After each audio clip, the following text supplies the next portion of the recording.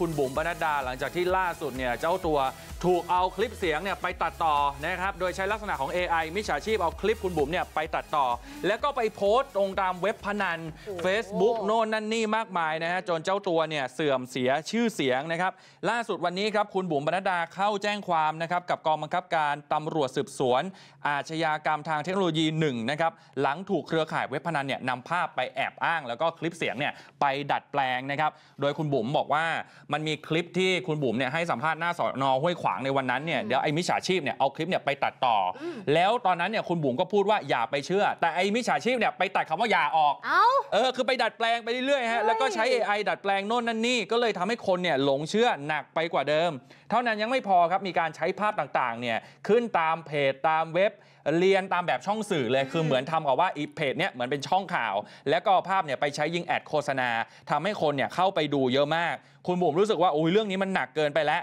แล้วแม้กระทั่งนักข่าวเองเนี่ยก็ไปถามความคืบหน้าอ่ากับตำรวจเนี่ยแทนคุณบุ๋มเลยนะอืมคือนักข่าวเนี่ยแบบโอ้โหแค้นแทนคุณบุ๋มมากเออว่าเมื่อไหร่จะแก้ไขเรื่องนี้ได้สิใช่แล้วคือคุณบุ๋มเนี่ยเขาบอกว่าจริงๆ ปกติเวลาเกิดเคสแนวๆนี้ปกติมันมักจะจบนะแป๊บเดียวคือไอ้ข้อมูลที่ปลอมๆบนออนไลน์เนี่ยมันจะหายไปหมด แต่ครั้งนี้เนี่ยขนาดมาแจ้งความแล้วไอ้ข้อมูลนั้นมันก็ยังโผล่เต็มเว็บยังไม่หายโอ้โหก็เลยคาดว่าน่าจะเป็นเว็บพนันขนาดใหญ่แน่นอน เลยมาขอความช่วยเหลือครับฟังเสียงคุณบุ๋มนะฮะ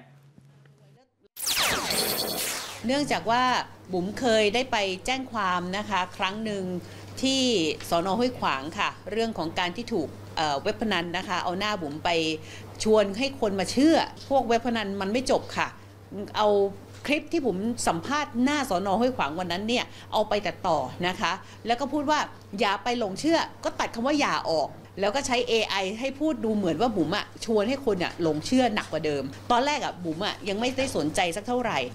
เพราะว่าบุ๋มเชื่อว่าคนน่ะน่าจะเชื่ออยู่แล้วว่าบุ๋มไม่มาเชิญชวนเรื่องพวกนี้แน่นอน จนกระทั่งคนน่ะเข้ามาถามทั้งในเพจดรปนัดดาวงผู้ดีทำในไอจีจนบุ๋มรู้สึกเฮ้ยมันชักเริ่มหนักเกินไปแล้ว แล้วหนักแม้กระทั่งว่านักข่าวเองถามถึงตำรวจเลยค่ะ มันเยอะจนกระทั่งบุ๋มอะต้องมาให้